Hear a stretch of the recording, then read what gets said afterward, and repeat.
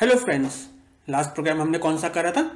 हमने अपनी फ़ाइल के अंदर से लाइन बाई लाइन रीड करा था कंटेंट्स और उसको स्क्रीन पर डिस्प्ले कराए थे। उस टाइम मैंने आपको बोला था कि आप अपनी फ़ाइल के कंटेंट्स किसी दूसरी फ़ाइल के अंदर भी कॉपी कर सकते हैं।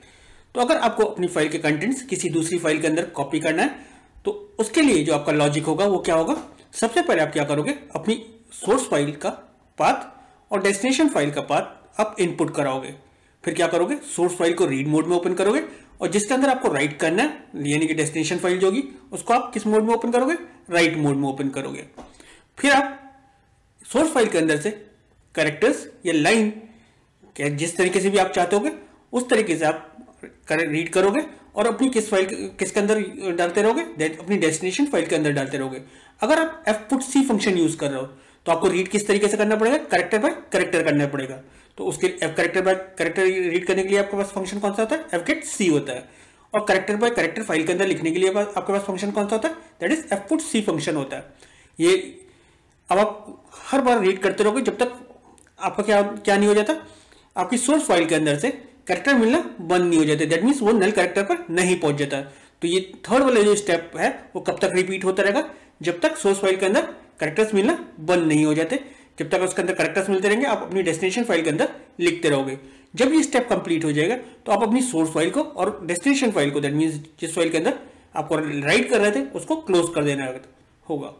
नॉर्मली आप कॉपी करने के लिए आपके पास कमांड होती है copy suppose A B C dot T X T to X Y Z dot T X T आप ऐसे ही करते हो। इससे क्या होता है? ये आपकी क्या होती है? दैट इज़ सोर्स फ़ाइल होती है। और ये आपकी कौन सी होती है? दैट इज़ डेस्टिनेशन फ़ाइल होती है। ऐसे ही होता है।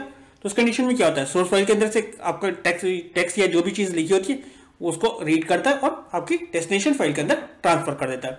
ये तो उसका लॉजिक था। चलिए, इस प्रोग्राम को मैं आपको समझा देता हूँ, फिर इसको एग्जीक्यूट भी करते हैं। तो इस प्रोग्राम को बनाने के लिए आपको क्या करना पड़ेगा? ये आपका प्रोग्राम है। सबसे पहले आप क्या करोगे? अपनी एस और एस टी एस को इंक्लूड कर दोगे। फिर आप file pointer that mean file का अपने पॉइंटर किसके लिए बनाओगे? सोर्स फ़ाइल के लिए बनाओगे और डेस्टिनेशन फ़ाइल के लिए बनाओगे। फिर क्योंकि आपको फ़ाइल का नाम इनपुट करना है सोर्स फ़ाइल और करेक्टर वो डेस्टिनेशन फ़ाइल तो उसके लिए आप करेक्टर एरे बना लोगे और हंड्रेड हंड्रेड का करेक्टर एरे सोर्स फ़ाइल के सोर्स पाथ के लिए और डेस्टिनेशन पाथ के लिए बना लोगे। अब फ़ाइल के अंदर से जो करेक्टर रीड करोगे, उसके लिए आपने वेरिएबल ले लिया दैट इज़ सी एच अब आपने यूज़र को मैसेज दिया कि एंटर सोर्स फ़ाइल पाथ तो यूज़र ने सपोज़ यहाँ पर दिया test dot T X T तो ये फ़ाइल एग्जिस्ट होनी चाहिए। अगर ये नहीं होगी तो आपके पास वो नीचे रीड करेगा, मैं आपको बताऊँगा। तो ये किसके अंदर चला जाएगा? सोर्स पाथ के अंदर चला जाएगा पाथ फ़ाइल का नाम। देन अगर फिर वो आपसे क्या पूछेगा? Enter destination path dot T suppose आपने यहाँ पे दे दिया test dot test two dot T तो अब इसके अंदर जितने भी करेक्टर्स होने चाहिए, वो किस, किसके चले, अंदर चले जाने चाहिए? दैट मीन इसके अंदर जितना भी मटेरियल होने चाहिए, वो टेस्ट टू डॉट टी के अंदर चले जाना चाहिए। और ये वाला जो नाम है, किसके अंदर स्टोर हो जाएगा? डेस्ट पाथ के अंदर स्टोर हो जाएगा। फिर आपने क्या क्या लिखा? Source file equals to F open source path इस फ़ाइल का नाम। दैट मीन टी को आपने किस मोड में ओपन करा? रीड मोड में। और जिस फ़ाइल के अंदर आपको लिखना है दैट इज़ डेस्टिनेशन फ़ाइल उसको ओपन करा आपने किस मोड में? राइट मोड में। अब ये फ़ाइल बनी हुई तो नहीं होगी तो इसको ये क्या करेगा? राइट मोड में जब आप ओपन करोगे तो ये फ़ाइल क्रिएट कर देगा। जब ये फ़ाइल क्रिएट हो जाएगी तो फिर आप चेक करा रहे हो if source file double equals to null या फिर destination file equals to null that means अगर इन दोनों में से कोई फ़ाइल नहीं मिलती है सपोज़ ये तो बन गई, लेकिन सोर्स फ़ाइल जो आप स्पेसिफाई कर रहे थे वो आपकी थी ही नहीं तो उस कंडीशन में वो क्या करेगा? कि आपको मैसेज दे देगा unable to open a file please check if file exist and you have a read write privilege ये आपके पास मैसेज आ जाएगा और प्रोग्राम से एग्जिट फ़ंक्शन क्या करेगा? प्रोग्राम से बाहर चला जाएगा।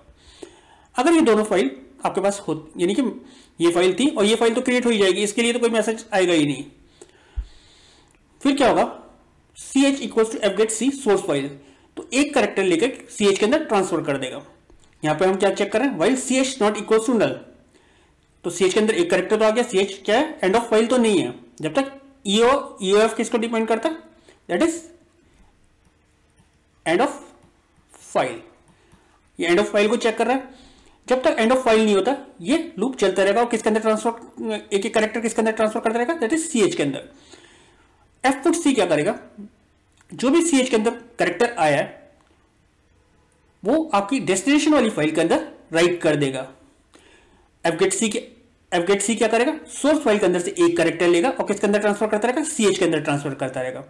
ये लूप जब सी एच के अंदर एक एक करके आपके करेक्टर्स आते रहेंगे और वो एफ़ पुट सी के थ्रू किसके अंदर जाते रहेंगे? आपकी डेस्टिनेशन फ़ाइल के अंदर जाते रहेंगे। और ये लूप लूप के अंदर चलता रहेगा जब तक सी एच के अंदर क्या नहीं मिल जाता? एंड ऑफ़ फ़ाइल का करेक्टर जो होता है, वो नहीं मिल जाता है। तो ये लूप चलता रहेगा, एक एक करेक्टर रीड करता रहेगा और दूसरी फ़ाइल के अंदर ट्रांसफ़र करता रहेगा। जब ये फ़ाइल कॉपी हो जाएगी तो आपके पास मैसेज ये लूप से बाहर आ जाएगा। लूप से बाहर आने के बाद आपके पास मैसेज क्या जाएगा? फाइल्स कॉपीड सक्सेसफुली और आपके पास क्या, जो आपकी सोर्स फ़ाइल थी और जो डेस्टिनेशन फ़ाइल थी, उसको क्लोज कर देगा। एक तो लूप लिखने का तरीका ये था। दूसरा तरीका क्या है? क्या डायरेक्ट यहाँ पे क्या लिखो? While C H double equal to F get C source not equal to end of file यानी कि यहाँ यहाँ पर ही वो क्या करेगा? एक करेक्टर लेगा सी एच के अंदर ट्रांसफ़र करता रहेगा और चेक करते रहेगा एंड ऑफ़ फ़ाइल तो नहीं आ रहा है। अगर एंड ऑफ़ फ़ाइल आ रहा है तो लूप से बाहर चलाएगा और लूप से बाहर चलाएगा नहीं तो क्या करेगा? एफ़ सी क्या करेगा? सी एच के अंदर जो वो करेक्टर करेक्टर आ रहा होगा, वो इस फ़ाइल के अंदर ट्रांसफ़र कर देगा। चलिए, मैं इस प्रोग्राम को आपको एग्जीक्यूट करके दिखा देता हूँ।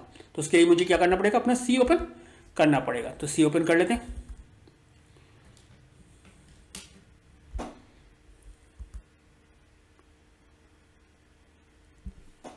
एफ़ थ्री तो हमारी कौन सी फ़ाइल है? That is day thirty four है। उससे पहले मैं आपको क्या करता हूँ? यहाँ पर गेट सी लिख देता हूँ सो दैट आपको यूज़र स्क्रीन स्टॉप होकर दिखाता रहे। उससे पहले मैं आपको क्या करता हूँ, अपनी फ़ाइल के कंटेंट दिखा देता हूँ। स्क्रीन क्लियर कर देता हूँ। Type test dot T X T देखिए test dot T X T के अंदर ये कंटेंट्स हैं। Type test two dot T X T देखिए, ये अभी फ़ाइल नहीं है। ये जब प्रोग्राम हम एग्जीक्यूट करेंगे तो ये फ़ाइल बन जाएगी। चलिए, यहाँ से बाहर निकलते हैं और अपने प्रोग्राम को एग्जीक्यूट करते हैं। तो सबसे पहले हमसे क्या पूछेगा? सोर्स फ़ाइल का नाम। क्या कह रहा है? एंटर सोर्स फ़ाइल नेम तो मैं यहाँ पे क्या दे रहा हूँ? Test dot T X T then ये आपसे पूछा, अपनी डेस्टिनेशन फ़ाइल का नाम दिए मैं यहाँ पे दे रहा हूँ test two dot T X T enter करता हूँ। आपके पास मैसेज क्या आएगा? फाइल्स कॉपीड सक्सेसफुली अब चेक कर लेते हैं। स्क्रीन क्लियर कर लेता हूँ अगेन सी से। Type test dot T X T ये मैसेज ये आ गया आपको कंटेंट फिर मैं लिखता हूँ type test two dot T X T sorry type की स्पेलिंग गलत है।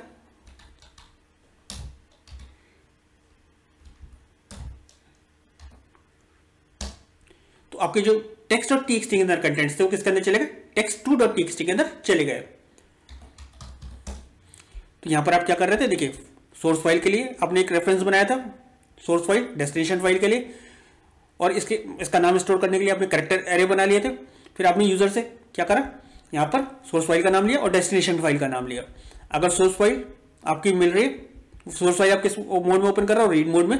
और डेस्टिनेशन फ़ाइल क्योंकि उसके अंदर आपको लिखना है तो आप किस मोड में ओपन कर रहे हो? राइट मोड में ओपन कर रहे हो। चेक कर रहे हो सोर्स फ़ाइल और डेस्टिनेशन फ़ाइल एग्जिस्ट करती है या नहीं करती है? अगर एग्जिस्ट करती है तो ठीक है, नहीं तो ये मैसेज प्रिंट कर दे। अगर एग्जिस्ट करती है तो कहाँ चलाएगा सोर्स फ़ाइल के अंदर से एक करेक्टर लेगा सीएच के अंदर जाएगा सीएच चेक करेगा तो एंड ऑफ़ द फ़ाइल तो नहीं है। अगर एंड ऑफ़ द फ़ाइल नहीं है तो लूप के अंदर चला जाएगा। और क्या करेगा? सीएच के अंदर जो वैल्यू आई है, वो डेस्टिनेशन फ़ाइल के अंदर राइट करता रहेगा। फिर ये क्या करेगा एफगेट सी से क्या करेगा? सोर्स फ़ाइल के अंदर से एक एक करेक्टर लेके किसके अंदर ट्रांसफ़र करता रहेगा? सीएच के अंदर ट्रांसफ़र करता रहेगा। और ये लूप जब तक चलता रहेगा, जब तक सीएच के अंदर एंड ऑफ़ द फ़ाइल नहीं मिल जाता। और जब तक लूप चलता रहेगा, जब तक वो क्या करता है जो भी करेक्टर सी के अंदर आएगा, वो डेस्टिनेशन फ़ाइल के अंदर राइट करता रहेगा। जब ये लूप चलना बंद हो जाएगा दैट मीन्स कंडीशन फॉल्स हो जाएगी तो सारे करेक्टर्स डेस्टिनेशन फ़ाइल के अंदर लिख गए होंगे। उस कंडीशन में फिर आप जाके मैसेज क्या प्रिंट करा दो? फ़ाइल कॉपी सक्सेसफुली और उसके बाद आप दोनों फ़ाइल को, अपनी सोर्स फ़ाइल और डेस्टिनेशन फ़ाइल को क्लोज कर दे रहे हो। चलिए, इसको तो आपको मैंने समझा दिया। बाहर निकल जाता हूँ सी से। सी से हम बाहर निकल आए। मैं अपनी स्लाइड पर आ जाता हूँ। तो आपको आज मैंने जो बताया, वो क्या बताया? कि आप एक फ़ाइल से दूसरी फ़ाइल के अंदर सेकंड फ़ाइल के अंदर कंटेंट्स कैसे ट्रांसफ़र करते हो? तो मैंने आपको बताया कि अपनी अपनी फ़ाइल से आप जो आपके सोर्स कंटेंट्स होंगे, वो अपनी दूसरी फ़ाइल के अंदर कैसे ट्रांसफ़र करोगे? और उस सोर्स फ़ाइल को आप करेक्टर बाय करेक्टर रीड कर रहे हो और डेस्टिनेशन फ़ाइल के अंदर भी करेक्टर बाय करेक्टर उसको राइट कर रहे हो। करेक्टर बाय करेक्टर रीड करने के लिए बाद आपके पास फ़ंक्शन क्या था? एफ़ गेट सी था। और करेक्टर बाय करेक्टर लिखने के लिए आपके पास क्या था? That is F put C था। फ़ाइल के अंदर करेक्टर बाय करेक्टर रीड करने के लिए एफ़ गेट सी यूज़ करा। फ़ाइल के अंदर राइट करने के लिए करेक्टर बाय करेक्टर आपने एफ़ पुट सी यूज़ करा। अगर इस प्रोग्राम के अंदर या इन फ़ंक्शंस के अंदर आपको कोई भी डाउट हो तो प्लीज़ आप मुझे कमेंट सेक्शन में लिखिए मैं कोशिश करूँगा आपके डाउट्स को क्लियर करने की और आपके कमेंट्स का रिप्लाई करने की। Thank you